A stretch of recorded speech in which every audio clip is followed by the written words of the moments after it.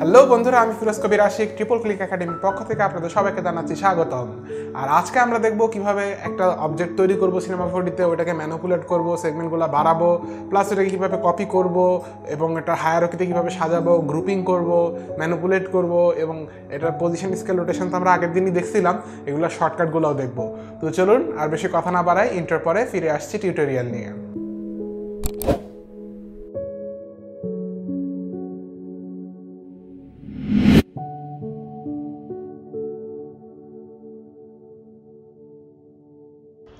Intro চলতে চলতে বলে নেই, যদি এখনও আমাদের চ্যানেলে সাবস্ক্রাইব না করে থাকেন, তাহলে নিচে লাল বাটনটি ক্লিক করে দেবেন, আর তারপর নোটিফিকেশন অন করে আমাদের ফেসবুক পেজের লিঙ্ক আপনারা নিচে পেয়ে যাবেন, ওখান থেকে গিয়ে লাইক দিয়ে ফলোয়িং থেকে সি ফাস্ট করে দিবেন।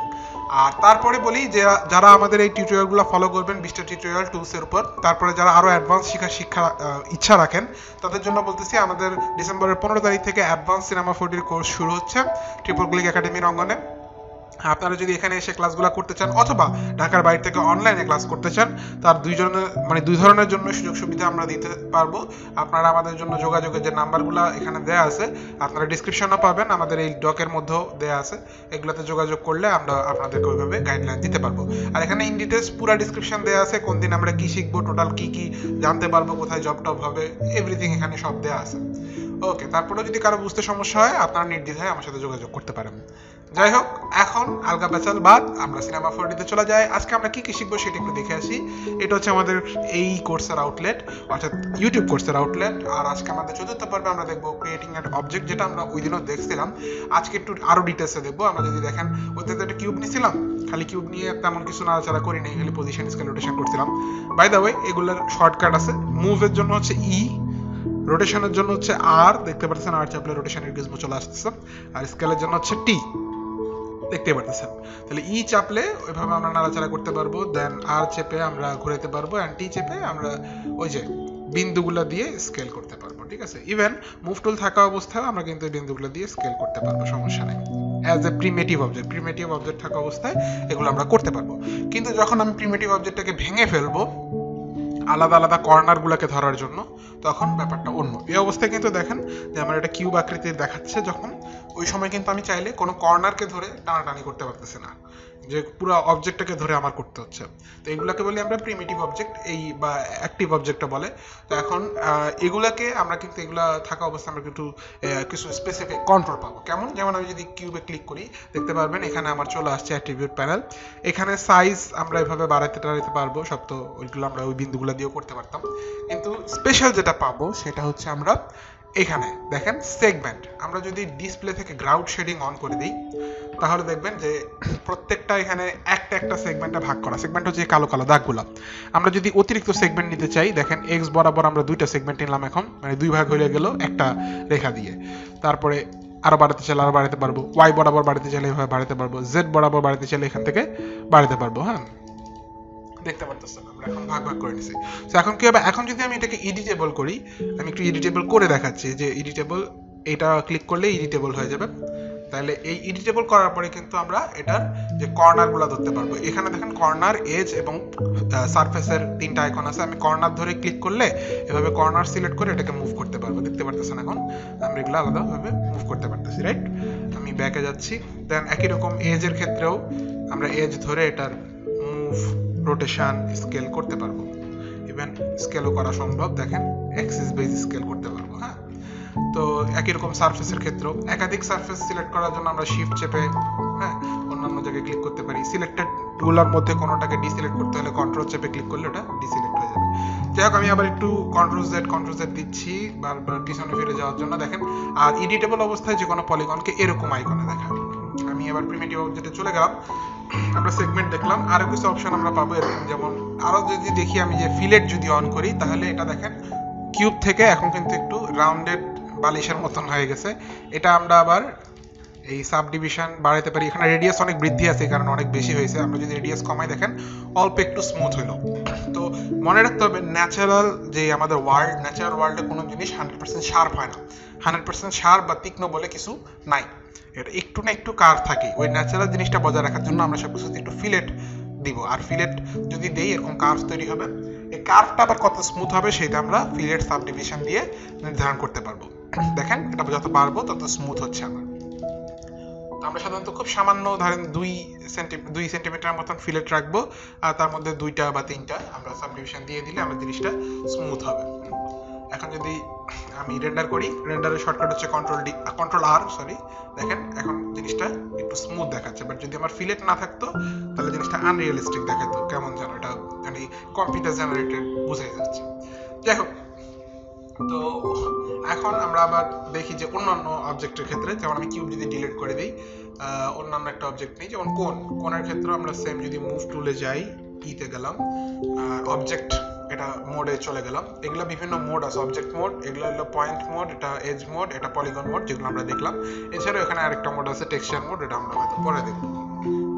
দেখ আমরা অবজেক্ট মোডে গেলে এরকম পয়েন্টগুলো দেখতে পারব, এই পয়েন্টগুলো দিয়ে আমরা ম্যানিপুলেট করতে পারব যে কোনো প্রিমিটিভ অবজেক্টকে এটার হাইট এটার রেডিয়াস এখান থেকে বাড়াতে পারব। তাছাড়াও আমরা কোন মানে অবজেক্টটাতে ক্লিক করলে হায়ারকের মধ্যে অবজেক্টটাতে ক্লিক করলে, এখানে পাবো এই যে টপ রেডিয়াস উপরের দিকে যদি রেডিয়াস বাড়াতে চান, সেক্ষেত্রে এটা দেন আমার বটম রেডিয়াস নিচের দিকের রেডিয়াস হাইট কতটুকু হাইটে হবে দেন হাইট সেগমেন্ট এটাতে সেগমেন্ট কতগুলো চান। মনে রাখতে হবে, আমার স্মুথ করার জন্য যত সেগমেন্ট আমার দরকার, আমি নিয়ে নিব। তবে বেশি নেওয়ার কোনো দরকার নাই, আর সেগমেন্ট কারণ সেগমেন্ট কমানো অনেক টাফ আপনার লাগলে আপনি সেগমেন্ট অ্যাড করে নিতে পারবেন ইজিলি বাট সেগমেন্ট কমানোটা অনেক টাফ আর রোটেশন সেগমেন্ট হচ্ছে যে মানে ঘূর্ণন অবস্থায় কতগুলো সেগমেন্ট নিছে। দেখেন এটা আমি যদি কমায় দিই, খুব কমায় দিই, তাহলে কি হবে? একটা পর্যায়ে গিয়ে এটা আর স্মুথ থাকবে না। দেখেন, একদম তিন কোনা পিরামিড টাইপের হয়ে গেছে। আমরা টপ রেডিয়াস যদি একদম অফ করে দিই, এটা পিরামিড টাইপের হয়ে যায়। আবার বাড়াইলে বাড়াইতে বাড়াইতে এক সময় এটা স্মুথ হয়ে যায়। তো আমার যতটুকু লাগবে আমি ততটুকুই নিব, এটা আপনার প্রথম প্রথম একটা অসুবিধা হতে পারে, আস্তে আস্তে অভ্যাস হয়ে যাবে, আপনি বুঝতে পারবেন যে কতগুলো আমার নেওয়া লাগবে। যাই হোক তো এটা গেল কোণের ব্যাপার, আমরা কোন ডিলিট করে দিচ্ছি, দেন আমার কি লাগতে পারে? সিলিন্ডার লাগবে সিলিন্ডারও দেখেন কিছু কন্ট্রোলার আছে, এটা হলো রেডিয়াস এটা হলো হাইট আর এখানে ফিলেটও করা যায়, আমরা যদি ক্যাপসে চলে যাই ক্যাপসের মধ্যে দেখবেন এই যে ফিলেট অপশন আছে, দোনো দিক থেকে ফিলেট করা যায়। এই ফিলেটও আবার যে দেখেন আপনার যে রেডিয়াস এবং সেগমেন্টের ব্যাপার আছে, আমরা রেডিয়াস বাড়াইলাম সেগমেন্টও বাড়াইলাম স্মুথ হইল, আবার অবজেক্ট প্যানেলে এসে হাইটটা বাড়ায় দিলাম। একটা ক্যাপসুলের মতন হয়ে গেল। যাক, আমরা সিলিন্ডার ডিলিট করে দিচ্ছি। আবার যদি যাই, দেখেন এখানে আছে ডিস্ক, এরকম ডিস্কের মতন থাকবে, এটাও রেডিয়াস এবং সেগমেন্টাল কন্ট্রোল পাবেন আপনি।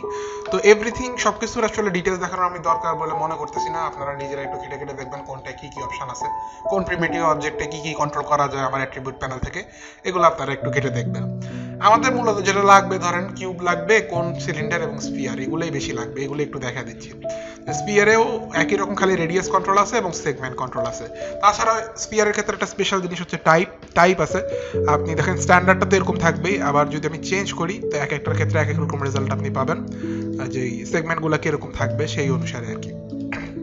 এক একটা রেজাল্ট এক এক রকম থাকবে। হেমিস্ফিয়ারে অর্ধেক থাকবে, আর বাকিগুলো সব দেখতে সেমই হবে, কিন্তু জাস্ট সেগমেন্টগুলো ডিফারেন্ট ডিফারেন্ট হবে। দেখ আমি আবার স্ট্যান্ডার্ডে দিয়ে দিলাম। এখন দেখেন, আমরা যদি নতুন অবজেক্ট আনি, এটা ডিলিট করে দিলাম। আরেকটা আনি, যেমন টিউব লাগতে পারে। এবং ক্যাপসুল ওই সিলিন্ডারের মতনই সেম টু সেম টিউব লাগতে পারে। টিউবের ক্ষেত্রে আপনি বেশি কন্ট্রোলার পাবেন। একটা হলো ভিতরের রেডিয়াস একটা হলো বাহিরের রেডিয়াস আর একটা হলো আমার হাইট ঠিক আছে? এবং সবগুলোর ক্ষেত্রে আপনি সেগমেন্ট পাবেন। এইগুলোর যে হাইট সেগমেন্ট ক্যাপ সেগমেন্ট তারপর এটারও ফিলেট অপশন আছে। ফিলেট দিলে স্মুথ হবে কর্নারগুলো ওটারও আমি দেখেন যে রেডিয়াস এবং সেগমেন্ট বাড়াইতে পারি। ঠিক আছে? কমাইতেও পারি, সমস্যা নেই। এটা মানে এটা দিয়ে অনেক অসংখ্য রকমের কাজ করা যায়, সবকিছু ডিপেন্ড করবে আপনার ইমাজিনেশনের উপর। যাক, আমি টিউবটাকে ডিলিট করে দিচ্ছি। এখন আমাদের নেক্সট টপিক হচ্ছে কি, আমরা তাহলে ক্রিয়েটিং অবজেক্ট জানলাম ম্যানিপুলেটিং এবং ই আর টি শর্টকাট যে ই হচ্ছে মুভের জন্য R for rotation T for scale এগুলো জানলাম। তো হায়ারকি কি জিনিস? হায়ারকি হচ্ছে আমাদের এই সাইডের এই প্যানেলটা এখানে যদি আমি মাল্টিপল অবজেক্ট তৈরি করি, মনে করেন কোনটা আপনাদের কাছে বেশি কমপ্লেক্স মনে হয়েছে আই ডোন্ট নো বাট মনে করেন আমি কিউব নিলাম এখানে আরেকটা অবজেক্ট ছিল টোরাস ওটা কই? এটা মনে হয় নতুন আপডেটে নাই হয়ে গেছে মনে হয়, জানি না। যাই হোক, আমরা টিউব যদি নেই মনে করেন এই টিউবটাকে আমি ডুপ্লিকেট করতে চাইলে দুইভাবে ডুপ্লিকেট করা যায়। এক হচ্ছে সবসময় রাখতে হবে সিনেমা ভিডিওতে যত রকমের ডুপ্লিকেট আছে সব কিছুর সাথে কন্ট্রোলের একটা সম্পর্ক আছে। তারা ভাই ভাই কপি এবং কন্ট্রোল ভাই ভাই। তো দুইভাবে করা যায় কপি যদি আমি কন্ট্রোল চেপে ভিউ পোর্টে যে কোনো অ্যাক্সিস বরাবর এটাকে টান দেই, এটা কপি হয়ে যাবে। আমরা দেখতে পারতেছি এটা হায়ারকি তো দুইটা অবজেক্ট এখন দেখাচ্ছে। আবার আমরা কিন্তু চাইলে আমি কন্ট্রোল জেড দিয়ে পিছনে গেলাম সরি কন্ট্রোল ওয়াই দিয়ে সামনে আসলাম, কিন্তু আসতেছে না। যাই হোক, আমরা আবার শুধু একটা টিউব নিয়ে নেই, সমস্যা নাই। ওকে আবার আমরা কিন্তু হায়ারকিতেও কপি করতে চাই। যদি আমি চাই যে একই জায়গায় দুইটা কপি থাকে, তাহলে কি করব? কন্ট্রোল শেপে আমরা হায়ারকিতে এভাবে ড্র্যাগ অ্যান্ড ড্রপ করে দিলে দুইটা কপি একই জায়গায় আছে। আমরা যে কোনো একটাকে ধরে উপরে আনলে বুঝতে পারব, উপরে যে কোনো একদিকে আনলে বুঝতে পারব। আর একটা কপি আমার ঠিক ওই জায়গাতেই আছে। কপিং তো আমরা দেখে ফেললাম, এবার দেখব গ্রুপিং গ্রুপিং করলে কি হয় দেখেন, এখন যেমন ইন্ডিভিজুয়ালি আমরা দোনোটাকে রোটেট করতে পারতেছি। এটা এটার অ্যাক্সিস বেজে রোটেট হচ্ছে আর এইটা, এটার অ্যাক্সিস বেজে রোটেট হচ্ছে। দুইটাকে যদি আমি গ্রুপিং করে ফেলি গ্রুপিং করার শর্টকাট হচ্ছে দোনোটাকে সিলেক্ট করে অল্ট জি চাপবো। অল্ট জি চাপলে গ্রুপিং হয়ে যাবে। এখন যখন আমরা গ্রুপ করে ফেললাম গ্রুপ করলে হবে কি, দুইটা অবজেক্টের মধ্যে একটা প্যারেন্টিং সিচুয়েশন তৈরি হবে। এখন যদি আমি নাল ধরে দোনোটাকে রোটেট করতে চাই, তাহলে দেখবেন দোনোটা একই সাথে আমার রোটেট হচ্ছে। আবার আমি যদি নালের এই যে প্লাস আইকনটা ক্লিক করি, সবগুলোকে আলাদা আলাদা ধরতে পারব, আলাদা আলাদা কন্ট্রোলও করতে পারব। এখন দেখেন একটাকে আমি ধরেন এভাবে শিফট চেপে যদি ঘুরাই তাহলে দেখবেন যে টেন ডিগ্রি করে ও স্ন্যাপ করবে। তো ধরেন এরকম নাইনটি ডিগ্রি করে ঘুরেলাম এখন আমি নাল ধরে ঘুরেলে এইভাবে দোনোটা মিলে করতেছে তো আশা করি আপনারা প্যারেন্ট চাইল্ড রিলেশনশিপ যদি বুঝে থাকেন আফটার এফেক্টসে তাহলে এটা বুঝতে খুব একটা অসুবিধা আপনার হবে না। এখন একই রকম আমরা যেভাবে অবজেক্টকে কপি করছিলাম হায়ারকিতে একই রকম আমরা কিন্তু এই গ্রুপটাকেও কপি করতে পারি। জাস্ট কন্ট্রোল প্রেস করে এটাকে এনে ড্র্যাগ অ্যান্ড ড্রপ করে দেবো, এটা কিন্তু ডুপ্লিকেট হয়ে গেছে। আমরা যদি এখন মুভ টুল নিয়ে একটাকে একটু রানে সরাই, দেখতে পাবেন এটার আরেকটা কপি আমরা ডান দিকে সরাই ফেললাম। আর নেভিগেশনের আগের এগুলো তো মনেই আছে শর্টকাটগুলো তো আশা করি মনেই আছে। আমরা একটু মুভ করলাম অরবিট করলাম, দেখেন। এখন কিন্তু এরকম আমার জিনিসটা তৈরি হলো। এর মধ্যে আমরা আরেকটা সিলিন্ডার ঢুকিয়ে দিতে পারি। এটাকে টাইপ করব।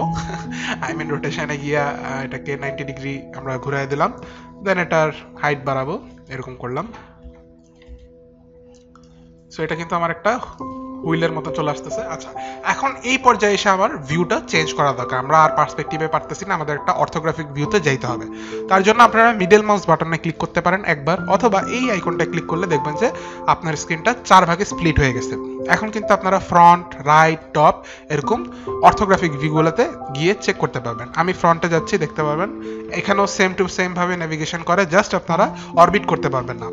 যেহেতু এগুলো two D panel two D view panel okay এখন আমরা দেখেন এটার মাঝখানে নিয়ে আসলাম। দেখলাম মোটামুটি হ্যাঁ মাঝখানে আছে। আমরা আবার চলে গেলাম এখানে, আমাদের পার্সপেক্টিভ ভিউতে জাস্ট আমরা কি করলাম? এখানে একবার প্রেস করলাম মিডল মাউস এখানে প্রেস করে আবার পার্সপেক্টিভে প্রেস করলে এটা চলে আসলো আমার। এখন এটা মোটা করে দিলাম। দেখেন এটা কিন্তু একটা বেশ, একটা মেশিনারি কিছু একটা তৈরি হচ্ছে। সো এটাকে আমরা আরও কমপ্লেক্স করে এটাকে একটা থ্রি মডেল হিসেবে আমরা প্রিন্ট আউটও করতে পারি থ্রি মডেল প্রিন্ট আউট করা যায়, বা যা কিছু সেটাই আমরা কাজে লাগাইতে পারি। যাই হোক, এখন আমাদের নেক্সট টপিকে চলে যাই। নেক্সট টপিক কি, আজকে আর কিছু বাকি আছে কিনা দেখি। আমাদের আমরা ক্রিয়েটিং অবজেক্ট দেখলাম ম্যানুপুলেটিং দেখলাম, এটাকে কীভাবে এডিট করা লাগে এজ এবং পলিগন বা ভার্টেক্সগুলোকে কীভাবে সিলেক্ট করে, ওগুলোকে মডিফাই করা লাগে, সেগুলো আমরা দেখলাম। সেগমেন্ট নিয়ে কথা বললাম ফিলেট নিয়ে কথা বললাম ই আর টি শর্টকাট অর্থাৎ যে মুভ রোটেশন এবং স্কেল ওগুলো নিয়ে দেখলাম। হায়ারোকে নিয়ে কিছু জানলাম যে কীভাবে গ্রুপিং করব, ওগুলো দেখলাম। দেন কপি কীভাবে করব দেখলাম এবং অ্যাঙ্কর পয়েন্ট মুভিংটা একটু দেখায় দিই। দেখেন অ্যাঙ্কর পয়েন্ট সাধারণত আপনি কিন্তু এখানে মুভ করতে পারবেন। অ্যাঙ্কর পয়েন্ট কি জিনিস? আমাদের আফটার এফেক্টস টিউটোরিয়াল যারা দেখছেন তাদের জানার কথা। অ্যাঙ্কর পয়েন্ট হচ্ছে যেখানে ভার কেন্দ্র হিসেবে থাকে। যেমন এই গিজমোটা এখান থেকে আছে, তাহলে এই অবজেক্টের অ্যাঙ্কর পয়েন্ট আমার এইটাই। এই অ্যাঙ্কর পয়েন্ট কিন্তু আপনি এখন নাড়তে পারবেন না। অ্যাঙ্কর পয়েন্ট নাড়তে হয় এই আইকনটা দিয়ে। এই আইকনটা ক্লিক করা অবস্থায় আমি যদি নাড়ি, তাহলে অ্যাঙ্কর নড়ার কথা। বাট প্রিমেটিভ অবজেক্টের অ্যাঙ্কর পয়েন্টকে নাড়া যায় না। অ্যাঙ্কর পয়েন্ট নাড়ার জন্য আমাদের প্রিমেটিভ অবজেক্টটা এডিটেবল করতে হবে। কিন্তু যদি এডিটেবল করি, তাহলে আমরা অনেক ফাংশন হারায় ফেলব। তো আমরা যদি চাই আমরা কিন্তু এডিটেবল না করে প্রিমিটিভ অবজেক্টের অ্যাঙ্কর পয়েন্ট নাড়তে পারি। এটা একটা প্রো টিপ সবাই জানে না সিক্রেট টিপ দিচ্ছি আপনাদেরকে। কি করবেন? ওই অবজেক্টটা ক্লিক থাকা অবস্থায় আপনার হায়ারকি প্যানেলে অল জি প্রেস করবেন, তাহলে এটা গ্রুপের মধ্যে চলে আসবে। এবার আপনি গ্রুপের অ্যাঙ্কর পয়েন্টটা নেড়ে দেবেন। দেখেন, এখন কিন্তু আমি যদি আমার এই গ্রুপ ধরে এটাকে রোটেশন করাতে চাই, তাহলে এই যে বিন্দুটা আছে, এই বিন্দুটাকে কেন্দ্র করে আমার অবজেক্টটা ঘুরবে। সরি এখন আমরা এই যে হায়ার এই এটা অফ করে দিব, আমাদের আর এটার দরকার নেই। এখন দেখেন এটাকে কেন্দ্র করে ঘুরতেছে। এতক্ষণ কিন্তু মাঝখানকে কেন্দ্র করে ঘুরতেছিল, এখন এটা এক পাশে আমি চাপাই দিছি। তো এটা একটা প্রো টিপ দিয়ে দিলাম আপনাদেরকে। আদারওয়াইজ যে কোনো অবজেক্টকে যদি আমি এডিটেবল করে ফেলি এডিটেবল করার শর্টকাট হচ্ছে সি অথবা এই আইকনটা আমি সি প্রেস করে এডিটেবল করে ফেলি, তখন কিন্তু আমি ইজিলি যে কোনো অবজেক্টের অ্যাঙ্কর পয়েন্টকে ইচ্ছা মতন মুভ করতে পারি। আবার মুভ করা শেষ হয়ে গেলে যদি আমি রোটেশন করি, তাহলে দেখতে পারব ওইখান বরাবর আমার এটা ঘুরতেছে। স্কেল করলেও ওই বরাবর হবে। পজিশন তো ম্যাটার করে না খুব একটা, যাই হোক। এখন তাহলে আমরা আজকে যে টপিকগুলো ছিল, মোটামুটি এখানে আমরা শেষ করে ফেললাম। তো আশা রাখতেছি বন্ধুরা, ভিডিওটা আপনাদের কাছে ভালো লেগেছে। ভিডিও ভালো লাগলে লাইক দিবেন কমেন্ট করবেন, আর বেশি বেশি শেয়ার করবেন, যত বেশি সম্ভব। আর আমাদের চ্যানেলে নতুন হয়ে থাকলে অবশ্যই অবশ্যই সাবস্ক্রাইব করে বেল আইকনে ক্লিক করে দিবেন, যাতে নেক্সট কোনো টিউটোরিয়াল আসলে সেটার নোটিফিকেশন চলে যায় আপনার কাছে।